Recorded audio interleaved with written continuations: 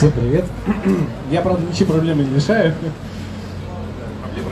Да, да, да. В общем, э, я интеллектуальный разработчик компании Hero Games. Никому, конечно, ничего не скажет. У нас сегодня, самом деле, маленький юбилей, у нас миллион столов за первые два месяца, что, в общем-то, не так плохо для рынка игр.